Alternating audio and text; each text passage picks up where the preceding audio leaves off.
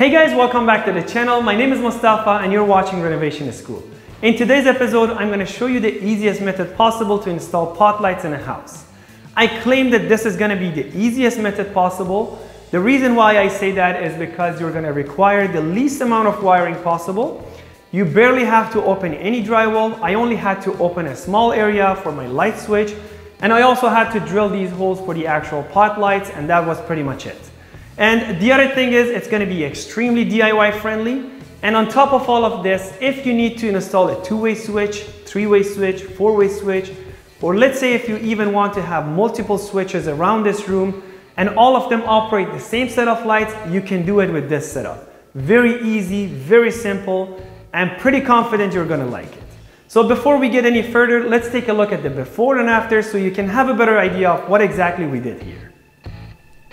This is an older house and this is the living room area here. As you can see it here, we don't have any light fixture or any source of light for nighttime inside this big room.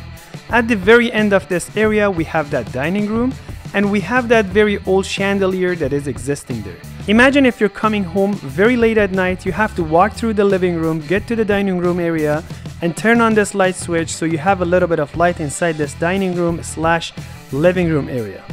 So not only this is outdated, it's not very functional either. Now, please let me show you how it looks like after I fix this issue.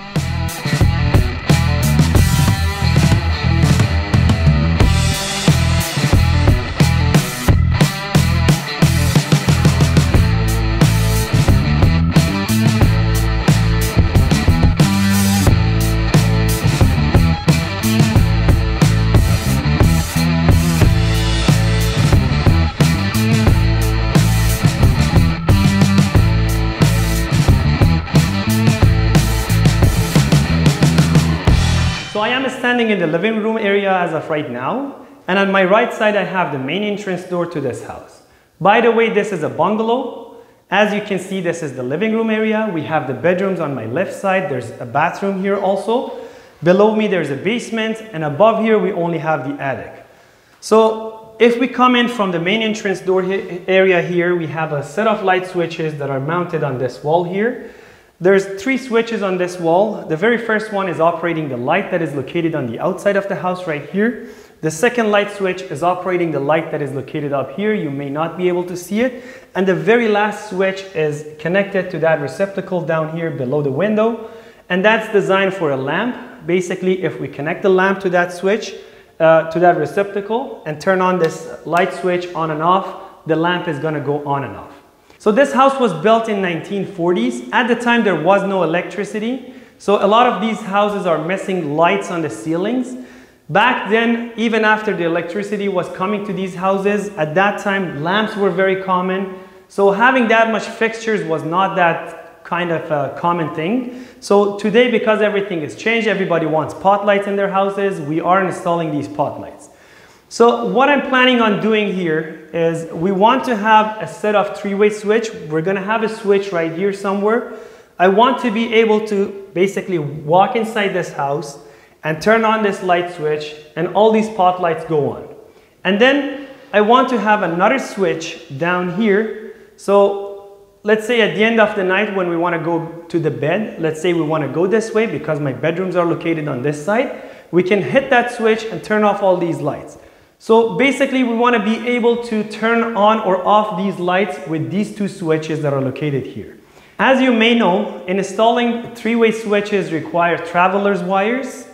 But in today's application, I am going to be installing a smart switch that is going to solve that issue for me.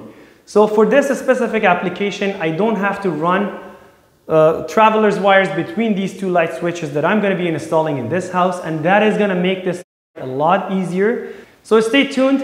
I'm going to show you what exactly is going on and what kind of a product I'm going to be using here before I show you how I'm going to do the wiring. This is the light switch that I picked for this job. It's made by Lutron company. This light switch is compatible with LED lights and also it has all the dimming options that you need on it. Also this light is a smart so it can be operated by an app. There's something super cool about this light switch and that's the fact that this could operate as a two-way switch. Let's say in an application that you need a one single light switch that can operate all your lights. this can do that 100%. But because this comes with that extra remote control switch that does not require any maintenance or battery in it, this light switch could also work as a three-way switch, four-way switch, five-way switch, or let's say if you want to have numerous amount of switches around the room that can operate the same set of lights for you, this light switch can do all of that in one shot. So in order to do that, all you need to do is to buy more remotes and add it to the walls. And the very cool thing about the remote is, as I said, it doesn't require any battery or maintenance, so it's maintenance free. And if you install this light switch on your walls, nobody can tell the difference between this one and a regular light switch because it looks exactly the same.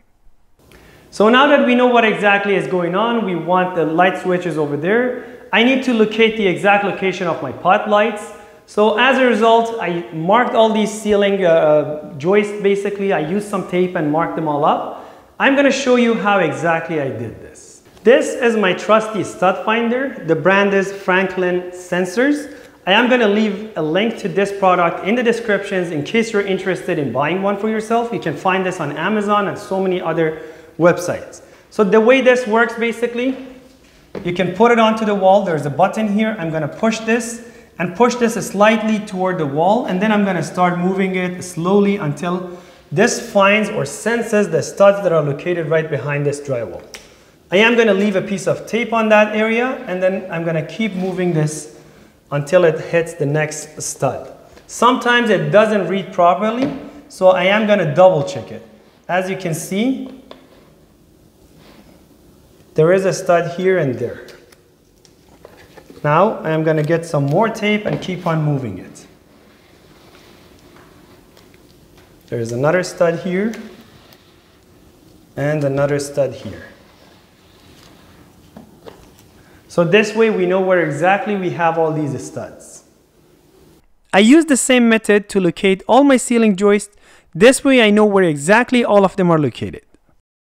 I did this on both sides of the room and these blue tapes are indicating the exact location of my ceiling joists. So basically my ceiling joists are going this way. I did this so I can space my pot lights accordingly and also when I'm trying to drill the holes for my pot lights, I'm not going to hit these ceiling joists. This way my pot lights are going to install nice and perfectly. I'm just done with finding the exact location for my pot lights. I turned on that a small laser level here it runs a line all around the room here. And if we go up here, you can see the line. So I left the mark, in my case, 30 inches from there, right from that corner on this side of the ceiling. I repeated this on that area as well. I left the mark right from there to here, 30 inches. And then I set up my laser level. This gave me this nice and straight line. As you can see, those blue tapes are representing the ceiling uh, joist basically. And uh, these green tapes are representing my pot light locations. So as you can see, I marked them exactly 30 inches away from each other. This way, they are kind of located right in between the two joists. So when I'm drilling this, I'm not gonna be hitting it. This camera is on zoom out right now. It might look pretty close, but if we just get there, it's pretty much about three inches away from the actual joist. So I thought this area is going to look a little bit empty in the center. So I found the exact center of the room and exact center of these four pot lights. I am going to drill another hole right there and, install a light fixture. So this way the center of the room doesn't look too empty and all of this is going to be on dimmers. I know it's going to be a lot of light so they can dim the lighting if they want to. In that area at the very end, that's going to be the kitchen. I am installing four pot lights here on four sides of this chandelier. This chandelier is going to be going. I am going to install a small uh, light fixture for now. And all of these lights are going to work on another switch that is located on this side, on this wall. So now we figured out where exactly the location of all my pot lights are going to be. At this time right now is to figure out where I want the light switch. For me, again, I want it somewhere here. As far as the height, normally the bottom uh, part of the box has to be 48 inches above the finished floor, which I am going to measure it and leave a mark for myself. So in my application here, I am working in a bungalow. Downstairs right below me, there is a basement. It's completely finished up to this whole area. Right from this beam and after, there's nothing finished in that area. So as you can see here, I have this uh, cold air return. I got lucky here. I can drill a hole right inside the basement, like right downstairs. And right from there, I can run a wire and feed it right to my box. Basically, I can drill a hole inside one of those uh, joists that I have. I already removed the screws from this. So if we look inside this, we have joists, floor joists that are going this way. So I can drill a hole here and feed a wire from there, bring it up here and make a cut inside this drywall and install a junction box. From here, I have to wire it and I'm gonna show you how exactly I do the wiring without opening the drywall all the way to my pot lights. And again, I got lucky I have this. Chances are you're gonna be dealing with a different situation. There's another way of doing it also. As you can see it here, down below here, we have this outlet. And that outlet is located right on the left side of this uh, uh, stud. And uh, what we can do without opening the drywall, I can feed a wire from this box, take it all the way to the attic, and from the attic, I can drill another hole inside this cavity and bring it down to the location of my light switch. How am I gonna do this without opening the drywall? I'm gonna show you that. So basically what I was explaining right now is to feed the actual wire that brings power to this light switch. So there's different ways of doing this. Keep in mind we're working in a very old house and I'm pretty confident there is asbestos in all these walls. If you don't know what asbestos is, it's a material that they used to use in a lot of building products and that uh, used to add a lot of strength to the uh, building materials. It's a very cancerous material, so if you're cutting that out, you have to be extra careful. It's not a fun thing to deal with. Just keep that in mind. And also, sometimes you have to cut holes through the baseboard, through the crown molding, through plaster walls. Chances are you might have lead paint on the walls. Be extra careful, take all the necessary precautions, make sure to protect yourself as much as you can while you're doing this job. Make sure to wear a mask and take care of the rest of the process. I put my junction box on the wall and I drew a line with my pencil all the way around it. And then I cut it out with my multi-tool. I was holding that vacuum right underneath of it to manage the amount of dust and debris. Again, because I'm pretty confident there is asbestos in this wall, I am wearing a very good quality mask there. I made sure that the junction box fits pretty nice and snug inside this opening, but I removed it for now so I can feed my wires, then I'm gonna install it. I got myself a clothing hanger and I cut it down. Then I made it nice and straight and I bent down the bottom part a little bit. I'm to show you why I did this and where I'm to use it. I set up my laser line and I lined it up to the center of my junction box and as you can see this line is going all the way to the ceiling. I used my drill and a tiny drill bit to drill a hole right onto that laser line. And then I feed that hanger wire that I made earlier I pushed it inside the hole and then I used some tape to keep it in place. Because I have crown moldings here and I wasn't able to drill the hole right on the corner, it's time to measure and see how far away that coat hanger is sitting from the actual wall. This way when I go inside the attic, I know where exactly to drill so I can feed my wire down to the electrical box. Before I go inside the attic, I like to drill all the holes for my pot lights. Because I'm planning on installing 4 inch pot lights, I got myself a hole saw that is 4 and quarter. You want the hole saw to be slightly bigger.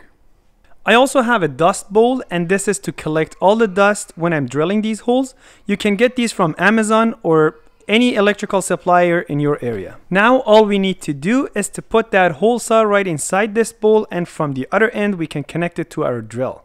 So this is how it's going to look like when it's completely installed. Keep in mind it could be a little bit dusty, so you will definitely need a mask and eye protection. Now it's time to put the drill bit right onto our mark and keep that dust bowl in place and then start drilling our hole. It's pretty difficult to drill through these plaster walls because there's some kind of a metal mesh inside them and when you drill it, your drill bit keeps getting caught. As a result, I went through two of these hole saws for this project. Now it's time to score the insulation with a knife. This way we can push our hand through this hole and feed our wires. To make my life a little bit easier here, I called my friend and he stopped by to give me a hand. So I am holding the wire in my hand, I go inside the attic through the hole that we made, and he puts his hand inside the next hole and grab that wire from me and pulls it down. Now the wiring is done from the first hole to the second, Now we have to continue the wiring from the second hole to the third one. So I went there, I fed the wire from the third hole, and he got it from the second hole and pulled it down. Now we're going to repeat this for all the other holes. So this is how it looks like after we completely finished up the wiring part. Pretty much from the very first hole we fed a wire to the second hole, from the second hole we went to the third one, from the third one we went to the fourth one and so on we continued all the way till we got to this one. We draw an extra line from this one to this hole because we're going to be installing a light fixture and the rest was the same we kept on moving to the next holes. Now from the inside part of the attic we have to pull another wire right from the first pot light hole and we have to bring it all the way here to the gang box that we just installed. Our switch is going to be right here and in order to bring power to this light switch we're going to pull another wire and go all the way to the basement through this cavity and right at the main panel we're going to install a dedicated breaker for it. It's about time to go inside the attic. Now I'm inside the attic and this is that clothing hanger that we fixed and pushed through the ceiling. I use the white color clothing hanger because it's super easy to spot it. You gotta be extra careful moving or walking inside the attic. You just wanna place your foot on all the ceiling joists. Pretty much you wanna put your foot on top of the wood. If you don't do it, you're gonna go right through the drywall and you're gonna fall down. So make sure to be extra careful when you go inside the attic. I pushed the insulation away so I have enough room to drill my hole. Now it's time to drill a hole about five and a half inches behind that clothing hanger. If you remember, I pushed that clothing hanger through the crown molding and it was setting about 4 inches off of the wall. So in order to make sure that the hole that I'm making right now is going to be right in between the two studs, I drilled the hole about 5.5 inches behind that clothing hanger. Now I am going to push this wire through the hole that I just made and my friend is standing down the stairs. He is going to grab this wire and pull it right out of the hole that we made for our junction box. Now we can take the other end of this wire to the first pot light hole. My friend is sticking his hand through that hole and I am going to give him the other end of this wire. He is going to pull it right through the ceiling. Now we can push the insulation back in place and get down the stairs. And by the way, we don't need that clothing hanger anymore, so we can push it back down the stairs and get rid of it. Now I have one wire that comes from the attic and it goes all the way to the first hole and right from that hole, basically we run the other wires and it's connected to all the rest of the pot lights. So now I'm going to put on my last pot light here and then I am gonna feed a wire from the basement all the way to this area and feed it to this light switch area. That's gonna be our feed. I hold the wires next to each other and then I use my wire stripper to remove that insulation from the outer part of the wire. Now I cut these wires about 3 to 4 inches and then I use my wire stripper to strip the very end of them about 5 8 of an inch. I hold these two wires right next to each other and I make them nice and straight.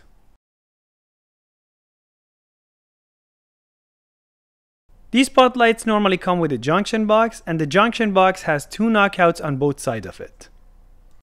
If we open this junction box, inside it we're going to have three sets of wires normally one black, one white, and one yellow or green. I'm going to remove this knockout by moving it back and forward a few times, it's going to come right off. I got myself one of these plastic connectors and I'm going to squeeze it and put it in place. This is how it looks like. Back to the ceiling, I am going to line up the two wires and push it right through this plastic connector. I'm going to pull it gently from the other side and stack the white wires to white wires black to black, and bare wire to bare. The wires inside this junction box come with these push connectors. Now it's time to connect all the white wires together, all the black wires have to be connected together, and also the bare wires which are going to be the ground, they're also going to be connected to the green or the yellow wire that comes from the junction box. Once we are done with connecting all these wires together, we are going to push them inside this junction box and close the lid. It's time to connect the wire that comes from the box to the wire that comes from the light. Normally there's a nut on it, make sure to tighten that up also. And then we're gonna push the box and the wire right inside the cavity. At the end, we are gonna squeeze these spring parts and make sure there's no wire on the way. And then we drop this light in place. Those springs are gonna hold this tight. If you remember, I made an extra hole in the center of the room and I wanted to install a light fixture on it. So we had an extra wire that we pulled from this pot light. I put a piece of 2x4 through this hole, making sure that the wire is not pinched underneath of it, and then I stand it up inside the hole and pushed it right against that ceiling joist, and I put two screws in it, making sure it sits super nice and snug in place. I got myself a metal light box and I pushed my wires through the opening and then I tightened up the screw onto the wire. Then I connected my ground wire to the actual body of the box. Then I used two screws to attach this to the piece of wood that I just installed. And at the end, I installed my light fixture to this light box. Now that everything is ready, it's time to drill a hole into the floor joist. I'm gonna drill this hole and then I'm gonna feed a wire right from the electrical panel through this hole all the way to the light switch, which in my case is located right above here. This is the junction box that I'm going to be using for my light switch. This is a single gang box and I can put some screws here and attach it right to that stud or the 2x4 right next to it. If you have to place your box somewhere that there's no stud right next to it, you can use one of these boxes. The good thing is it comes with these four extra holes and you can install the screws right into the drywall. This is going to hold it in place. In order to feed my wires through this box, I have to remove a knockout from the top and one knockout from the bottom of this box. And then I have to loosen up these inside the screws so this way the wire can feed through this box. Now I have two wires that are coming out of this opening. The top one goes to the lights and the bottom one is the feed wire that came all the way from the panel through the basement through that hole that I made through that joist from the cold air return area. I pushed both of these wires through the openings that we just made onto this box. I pulled them out completely and then I pushed this box inside the opening and I used two screws to attach it to the 2x4 or the stud that is sitting right next to it. Now it's time to cut and adjust our wires so we can connect them to our light switch. I used my wire stripper to remove the insulation from the wires. And then I cut my wires in a way when it's done, they're gonna be hanging out of the box about six inches. I stripped the end of these wires about three quarter of an inch. Then I pushed the wires back inside the box and tightened up the screw on it. Now it's time to connect the ground wire to the ground screw. I grabbed the ground wire that comes from the feed or from the panel and I put it around the actual ground screw. Make sure to go clockwise before you tighten down the screw on it. Then I grabbed my pliers and twisted the ground wires together. Then I made sure to cut all these wires the same length and remove about 3 quarter of an inch of that insulation from the end of these wires. I got the light switch and I connected the green wire to the grounds. Then I pushed it back inside the box. Now it's time to connect one of the black wires from the switch to one of the black wires from the box. It doesn't matter which one to which. I start twisting the wires by hand and then I put this wire nuts on top of it and turn it until it's super nice and snug. If it's connected properly, the actual wires also twist around each other for at least two turns. Also make sure to give it a pull test so it doesn't come loose whatsoever. Now it's time to connect the other two black wires together. Again, it doesn't matter which black wire from the box is connected to which black wire from the switch. As long as they're connected properly, they're twisted around each other nice and good, and the wire tie is snug on it, you're gonna be good. Now at the very end, it's time to connect the two white wires together. I like to use my pliers to twist these wires first, and then I'm gonna put the wire nut on top of it and tighten it up. Here is a close-up look after the job is done. As you can see, the ground wires are all connected together. The one black from the switch is connected to a black from the junction box. This is another black that is connected to another black wire, and both of the white wires are connected together. Now it's time to push these wires to the very back part of the box. Make sure to take your time because the back part of this light switch is pretty big. You want to push them pretty far back so this light switch can sit nice and clean in place. The light switch comes with two screws so we can attach it to the body of the box. I'm not going to put those screws on because I have some damage to my plasterboard here. I have to paint this whole entire house anyway, so I patch these areas before I paint the entire house. If you also want to learn how to paint a full house, please make sure to subscribe to the channel and hit that like button. After the paint job was done, I put on these screws and then I put the cover plate on top of it. So now that my wiring job is completely done at the light switch, we brought the other feed wire all the way to the electrical panel and it's time to install a circuit breaker for it. So in my panel, I have a bunch of room left for it. Chances are maybe you don't have any room in your electrical panel. A lot of times right next to your panel, you get an outlet like this one. Or let's say if you're pulling the power from one of the receptacles right inside the room that you're installing your pot lights in. Uh, let's say you want to get your power from that one. I'm going to also show you guys how to connect your wires to one of these.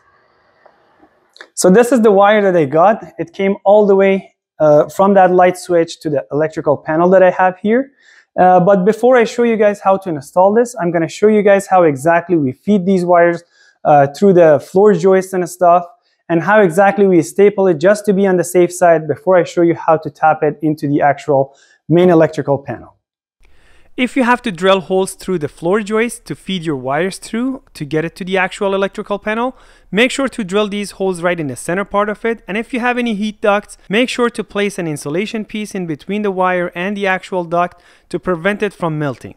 Staples are designed to keep the wires in place. If you have to use the staples, make sure not to hammer them down too much. You don't want to pinch the wires. It's very important to use the right type of breaker for the right wire. As you saw me in the video, I wasn't installing this white wire. In my case, this is a 14-2 uh, Romex wire. This is 14 gauge wire. So for the 14 gauge wire, we're supposed to install a 15 amp breaker.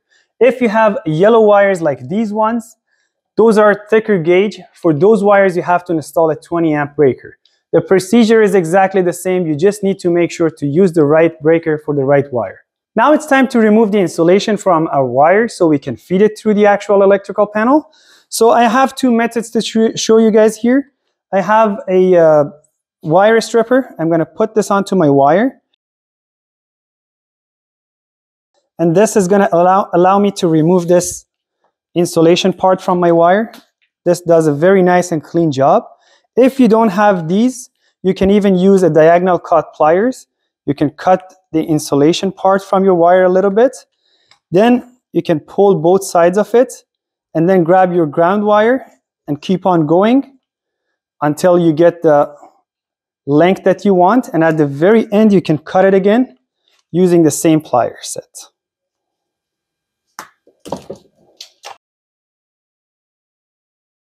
So the wire is stripped now, and it's time to feed it through the actual panel.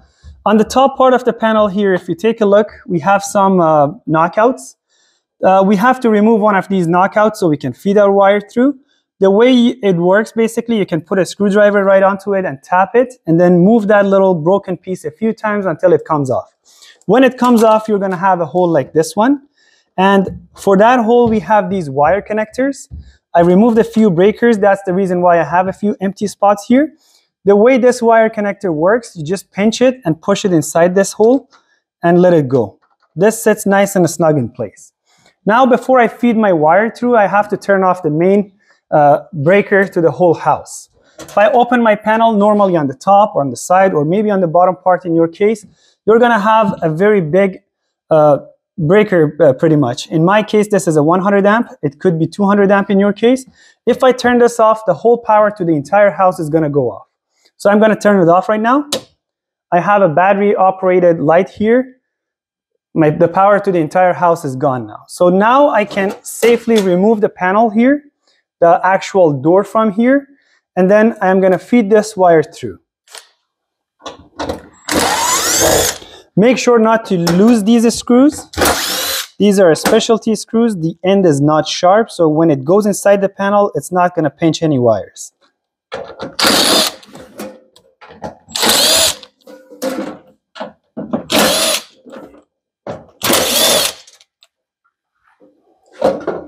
Now the door comes off.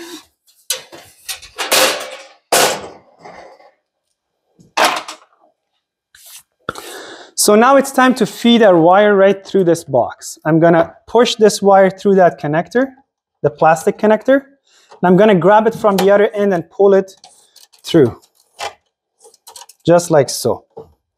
Now the wire is completely inside the box. So I have a white wire here, I have a bare wire and a black wire. The bare wire goes right to the rest of the bare wires at the very bottom part of my box. I have an area that all the ground wires are going into. Sometimes this could be located on different areas of different panels. It depends on your uh, uh, panel make and model. So I'm gonna loosen up this screw and feed this wire through that area and tighten it down. Make sure the screw is pretty nice and tight on it. And I'm gonna cut that extra wire. Now it's time to connect our white wire. So on the very side of my panel, if you come closer and take a look, we have these white wires connected to this uh, kind of a bar here, and we have a lot of these screws. So I have an empty spot here at the very bottom. I'm gonna loosen up this screw, and then I'm gonna adjust my wire to this area. I know that it's gonna be good enough this much, so I'm gonna cut it from here and I strip the end of it for about half an inch or let's say 5 8 of an inch. Now I'm gonna loosen up that screw and then we push this through and then we tighten up that screw right onto it. It's better if you use screwdrivers. Now for my black wire, because I installed a 14-2 wire, I have to install a 15 amp breaker for it. If you use the yellow wire that is like this one, you have to install a 20 amp uh, breaker for it. In my application, 15 would be ideal. So I just push the wire here and kind of see how long would be enough. This is perfect for my case. I'm going to cut it and remove the insulation about half an inch from it. Then on our breaker, we have a screw on the very bottom part of it. I'm going to loosen it up a little bit. It was already loose. Now we're going to feed our wire through here, push it right in, and then I'm going to tighten up that screw on it. We have to make sure that this screw is nice and all these wires that we connect are completely nice and tight. So my breaker is good now. At the very back side of the breaker here, I have this shape. That shape is supposed to sit right onto that area, like so. And then I line it up with the rest of the uh, breakers and then I push it in place. It has to kind of fill down and sit like this, nice and snug. If I turn it on right now and turn on the main electrical uh, breaker, it's going to be powered and the lights will work. In my case, I'm pretty confident it's going to work, so I am going to put my uh, cover back on and tighten it up. If you're not too sure about what you did, turn on the main uh, breaker, give it a shot. If you're satisfied, come downstairs again, turn off your uh, breaker, and install your uh, cover for it. And also, before you put your cover back on top, as you can see here, I removed some of these breakers from this area. They're normally closed like this. These tabs also can break off. So normally, again, you have to break one of these. I didn't have to do it here on this panel. You can break off and then put your panel on top and then put your screws back on. For this specific application, I don't have to staple my wires here because it's all stapled from the back part of this plywood. And I show you that in a little bit. Uh, but normally, if you don't have this set up and all the wires are coming right from the top, make sure to apply a staple. Don't push the staple too far in. The staples are just meant to hold the wires in place. They're not supposed to kind of squish or pinch the wires. It's not right. Make sure it's sitting nice and loose. As long as it keeps the wire in place, you should be good. Now it's time to show you guys how to connect your wire to a receptacle in case you did this inside the bedroom, living room, or some area and you're taking the power right from the receptacle. This is how I do it normally. I find the exact breaker for it. In my case, this is the first one. So this is completely off right now. Even though the power is completely off to this light switch right now, it's a good idea to connect a light or something to the top and the bottom one just to make sure that there's no power coming into it in case if you don't have one of these live circuit uh, finders. So now I'm gonna, I'm pretty sure that there's no power coming to this one. I'm to remove the cover from here and show you what's going on in the inside part.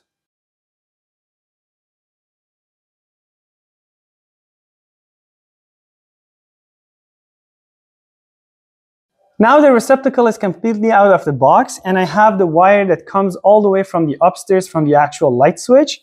We want to connect it to this receptacle.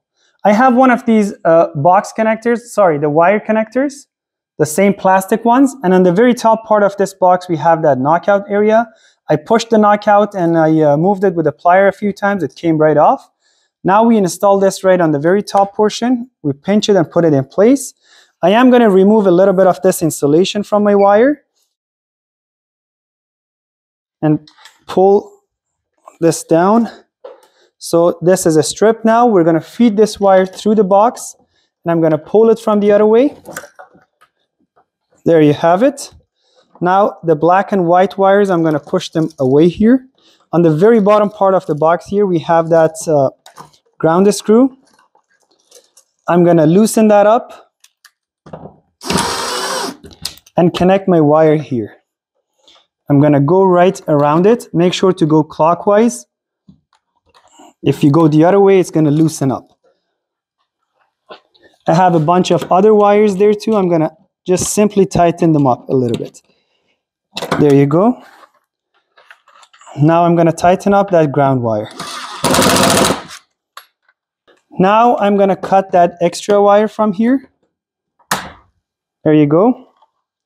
Now I only have the white and the black wire here.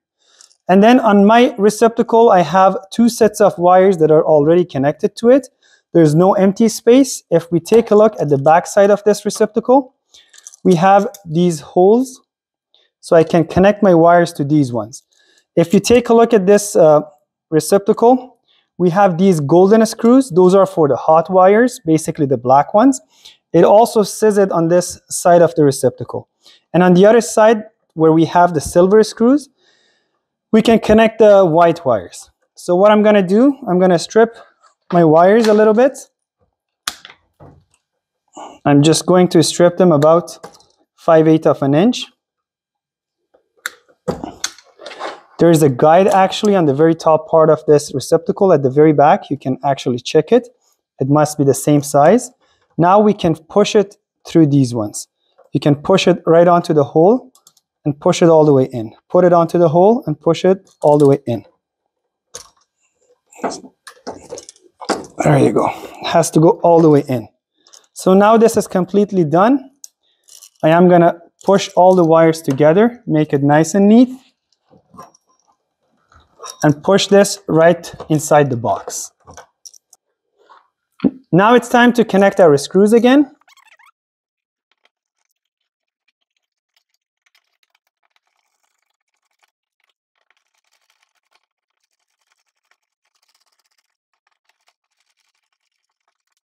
Now I can put the top plate in place and connect the two wires. And after I turn on the breaker, the lights will work upstairs. Now I'm going to go upstairs and show you guys the options onto the light switch itself. The light switch is working perfect right now and this is the remote control. In order to link these two together, we have to hold the off button on the actual light switch for about 6 to 7 seconds until these lights go on and off.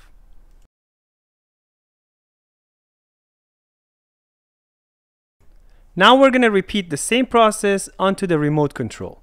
So we have to hold down the off switch on this remote also for about 5 to 6 seconds until the light on the very top corner goes off. Now these two are linked together and they're working perfect. The process would be exactly the same if you want to add some more remote controls. This remote control could be used exactly as is. You can have it pretty much anywhere in the room and kind of work with it just like a remote control for a TV. Or if you want to, you can install it onto the walls. I'm going to show you how to install it onto the wall. If you want to pair this switch with the phone application, you can hold this button for 6 seconds until the lights go off, and then you can follow the rest of the procedure on your phone. Keep in mind you only have to do this on the actual light switch, not on the remotes. To mount the remote onto the wall, I got myself one of these wall plate brackets. There's a clear plastic piece inside it that has the soft tab on it. At the back side of the actual remote control, there's a double-sided tape. You can connect this right to the wall using that double-sided tape if you want to, or you can remove the plastic piece that that double-sided tape is sitting right onto it, and then slide this right onto that loose part from that clear bracket. Now you can even install this on a gang box. All you need to do is to put these two screws in. I used two smaller screws to connect this to the wall.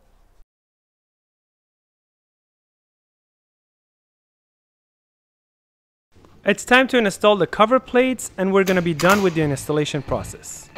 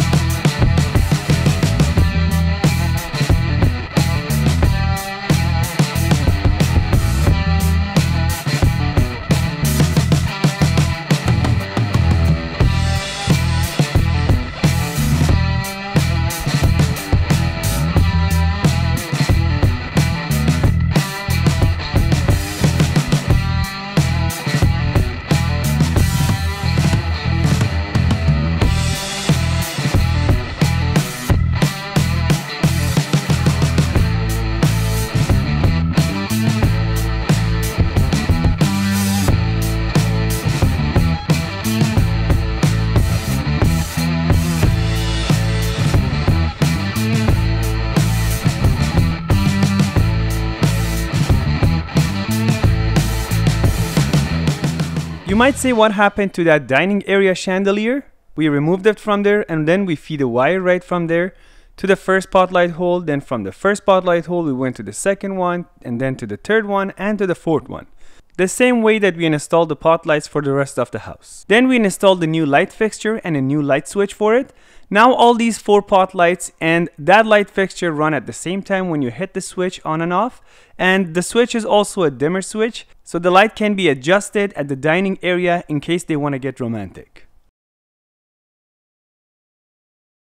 There you have it guys, as you can see it turned out pretty nice and beautiful. I hope you guys liked this video. If you did, please don't forget to hit that like button. If you're new here, please make sure to subscribe for more renovation related videos and I am uploading a bunch of cool videos over the holidays. I hope you guys enjoy them all. Thanks a million for watching this video. See you in the next one. Till then, peace.